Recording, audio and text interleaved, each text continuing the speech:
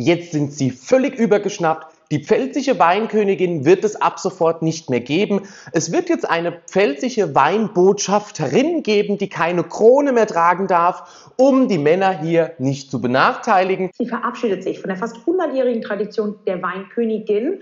Künftig können sich nämlich auch Männer bewerben und dann soll das Ganze unter einem anderen Titel laufen, und zwar Pfalz Weinbotschafter. Eine Schande für die Pfalz und jeder Pelzer, der weiß, was ich morn.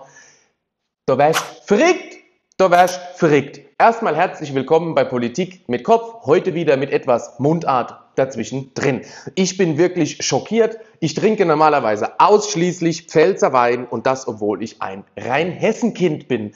Dazu müsst ihr wissen, das Beste, was ein Rennhesse werden kann, ist eigentlich ein Pfälzer. Ich bin geboren an der Grenze zur Pfalz und ich kann vieles nachvollziehen. Ich kann wirklich vieles verstehen, wenn man mit der Zeit gehen muss, wenn manche Dinge modernisiert werden müssen. Aber ich kann es absolut nicht verstehen, wie eine Kulturtradition, die seit 1931 gepflegt wurde in Rheinland-Pfalz, einfach so beiseite gewischt wird.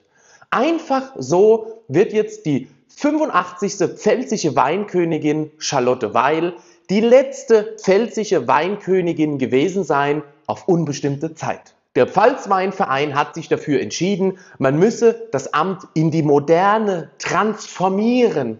Dieses Wort transformieren hat bei kultureller Brauchtumspflege überhaupt nichts verloren. Ja, jetzt wollen Sie sagen, die Männer seien benachteiligt und diskriminiert gewesen.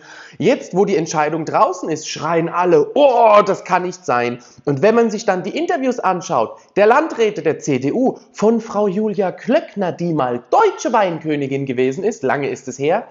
Aber ich meine, der Berufsstand war bei der Entscheidung dabei. Letztlich ein, ein, ein Berufsstand, eine Branche hat ja darüber ähm, entschieden die finden das gar nicht so schlimm, dass man jetzt die Krone nicht mehr hat. Da werden Frauen in eine Ecke gestellt. Natürlich werden Frauen, die sich inszenieren als eine Weinkönigin, in eine Ecke gestellt. Selbstverständlich, aber das legen Sie jetzt hier negativ aus. Soll denn jetzt Disney auch die Königin abschaffen im Schloss? Ich bin wirklich zutiefst schockiert und ich bin wirklich unschlüssig, ob ich weiter Pfälzer Wein trinken kann oder ob es das jetzt gewesen ist mit der Pfalz. Sie wollen hier als einziger deutscher Gebietsverband den Titel der Weinkönigin opfern. Alle anderen Weingebietsverbände in Deutschland halten daran fest und sie schließen die Pfälzer jetzt aus, denn sie wählen weiterhin einmal im Jahr eine deutsche Weinkönigin, ab sofort ohne die Pfälzer. Die anderen zwölf Anbaugebiete wollen den Titel Gebietsweinkönigin beibehalten. Auch das Deutsche Weininstitut, das die Wahl zur bundesweiten deutschen Weinkönigin organisiert, will das Wording aus der Pfalz nicht übernehmen. Und damit wollen sie vorne rangehen. Leute, dieser Wein hier kommt aus Bockenheim an der Weinstraße, also Bockenheim in der Pfalz, wenn ihr so wollt. Dort ist das nördliche Tor der deutschen Weinstraße. Da steht vorne geschrieben zum Wohl die Pfalz. Eben aber nicht mehr zum Wohl von uns allen. Wie kann man denn ernsthaft eine fast hundertjährige Tradition einfach beiseite wischen, weil man denkt, Männer müssten jetzt auch Weinbotschafter werden? Völliger Humbug. Außerdem gibt es in, Süd in der Südpfalz schon den ersten Weinkönig.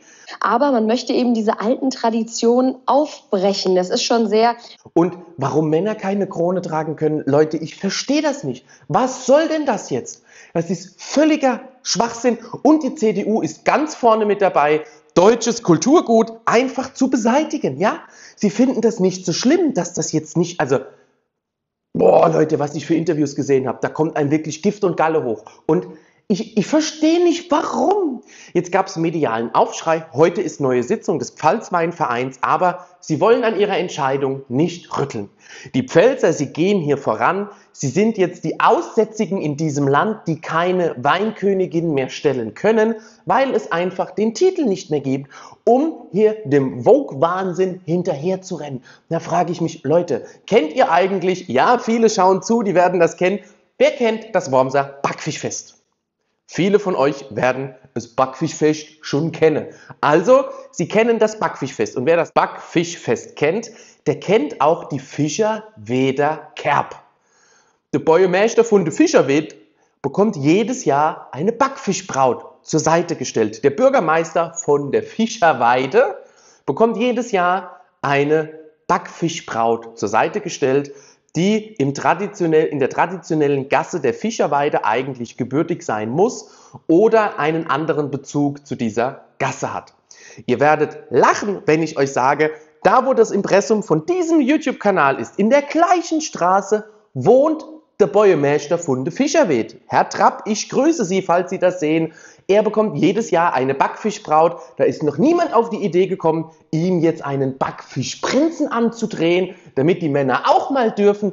Völliger Wahnsinn, den sie betreiben in der Pfalz. Und hier in Worms, ich warte darauf, dass sie die Backfischbraut jetzt auch opfern, wobei ich noch Vertrauen habe in die Fischerweder Jungs die lassen sich das nicht nehmen. Aber der Pfalzweinverein, er entscheidet hier für eine ganze Region, die stark im Tourismus ist, die auch viel davon gelebt hat, dass es zahlreiche Veranstaltungen mit der pfälzischen Weinkönigin gegeben hat. Nein, sie sind jetzt einfach raus und da kann man einfach wirklich nur mal sagen, Shame on you, wie sie immer der Polizei hinterherrufen. Shame on you, Pfalzweinverein. Es ist wirklich peinlich, wie ein einfacher Verein hier wirklich deutsche Kultur, Tradition hier einfach ad acta wirft. Seit 2000 Jahren bauen wir in der Pfalz die Rebstöcke an, die uns die Römer gebracht haben. Seit 100 Jahren feiern wir das mit einer Weinkönigin jedes Jahr. Und jetzt ist Schluss, damit der Vogue-Wahnsinn hier regieren kann. Es gibt jetzt dann nur noch Pfalzwein, Botschafter oder Botschafterinnen. Ohne Krone, nur noch mit Anstecknadel. Völliger Wahnsinn. Ich könnte den ganzen Tag mich darüber aufregen, aber es wird wohl eher Zeit, davon einen Tropfen zur Beruhigung zu nehmen. Schwarzriesling Weißherbst ist noch der 22er Jahrgang, 23er muss ich erst noch bestellen. Aber wie seht ihr das? Rege ich mich zu arg auf oder seht ihr das vollkommen gleich wie ich, dass es absoluter Wahnsinn ist, hier deutsche Kultur abzuschaffen? Jetzt gibt es keine pfälzische Weinkönigin mehr, die deutsche Weinkönigin werden kann. Und von den 85 pfälzischen Weinköniginnen der Vergangenheit haben wir zehnmal die deutsche Weinkönigin gestellt. Die Pfälzer, sie waren sogar die Mitinitiatoren dieser deutschen Weinkönigin und jetzt werfen sie alles über Bord. Du wärst verrückt, so wärst verrückt. Mehr kann man dazu eigentlich gar nicht sagen. Ich bin gespannt, wann sie jetzt hier weitermachen und die Braut vom Bäuermeister von der Fischerweht auch noch genommen wird. Es ist wirklich phänomenal. Und Sie sagen, Sie wollen das Amt der Weinkönigin transformieren. Nein, man sollte vielleicht den Pfalzweinverein transformieren in einen vom Vereinsverbot betroffenen Verein, der es sich zur Grundlage gemacht hat, das Kulturgut der Rheinland-Pfälzerinnen und Rheinland-Pfälzer, vor allem Funde-Pelzer, abzuschaffen. Ich bin wirklich immer noch zutiefst schockiert. Mein Blutdruck, dem geht's gut. Aber Leute, wie könnt ihr das hier machen und dann noch sagen, das hat was mit dem Gang in die Moderne, mit der Zeit zu tun? Nein, absolut nicht, Leute. Das ist Duckmäusertum vor der gesellschaftlichen Erwartung, alle sind gleich und gleicher und jeder kann hier jede Rolle annehmen. Ich warte darauf, dass wir dann einen Weihnachtsfrau bekommen, ohne Bart, und lauter so ein Schwachsinn, Leute. Was kommt als nächstes? Was kommt als nächstes, ja? Ich bin, oh, nee, nee, nee, nee, nee, nee. Das gibt's nicht. Das kann es nicht geben. Und ich hoffe, dass diese Entscheidung in der Pfalz noch nicht endgültig in Stein gemeißelt ist und dass die Pfälzer hier Druck machen. Ohne die Pfalz ist Deutschland sowieso verloren. Das größte zusammenhängende Weinanbaugebiet Deutschlands. Das können wir uns schon mal gar nicht nehmen lassen. In Bad Dürkheim steht das größte Weinfass der Welt, falls ihr das nicht kennt. Es ist wirklich eine wunderschöne Gegend. Wie gesagt, ich komme von da. Die Pfalz, die ist sowas wie Klein Kanada, sagen viele. Viele, die von woanders zuschauen, denken sich wahrscheinlich, was hat der da oben? Aber ich komme aus Rheinhessen, bin gebürtig an der Grenze zur Pfalz, trinke nur Pfälzer Wein. Ich trinke nicht mal Bier, weil ich das alles nicht, ich kann das, geht nicht an mich. Ich bin in einem Weingebiet geboren. Und dann, was haben Sie, was haben Sie getrunken beim Pfalzweinverein? Moselwein, baden-württembergischen oder doch französischen. Wie kann man zu so einer Entscheidung kommen und nachdem es öffentlichen Protest gibt, diese Entscheidung auch noch festhalten, daran festhalten? Leute, nee. Also, das ist wie, keine Ahnung, man versucht sich die Schuhe zu binden. Okay, ich lasse das mit den Vergleichen. Das ist alles so ungerechtfertigt. Ich finde es schade, dass wir jetzt hier die, die, letzte pfälzische Weinkönigin dieses Jahr sehen. Im September endet ihr Amt und dann wagt sie fort. Nie wieder hat sie jemand gesehen. Die Krone ist auf Nimmerwiedersehen und die deutsche Weinkönigin wird nie wieder aus der Pfalz kommen. Das haben sie sich auf die Fahne zu schreiben und dafür feiern sie sich. Ich sage euch, das ist ein Schuss in den Ofen. Das wird sogar den Tourismus belasten in der Pfalz. Und dann stehen sie wieder da und sagen, Oh, liebe Landesregierung, können wir ein bisschen strukturelle Förderung bekommen? Hier oben, Leute, hier oben. Völliger, völliger Wahnsinn. Und ihr ganzen Winzer, Leute, wenn ihr was auf euch haltet, macht eurem komischen Verein da mal Druck. Was soll denn das? Ich kann das absolut nicht nachvollziehen und ich bitte jeden, wirklich jeden, der das nicht möchte hier einen Kommentar unten drunter zu schreiben. Und wenn es nämlich zu viele sind, dann können wir auch mal eine Petition starten. Pfälzer an die Front, ja. Wir haben Napoleon überlebt, wir haben alles geschafft, ja, die französische Besatz. Und jetzt kommt hier der Pfalzweinverein.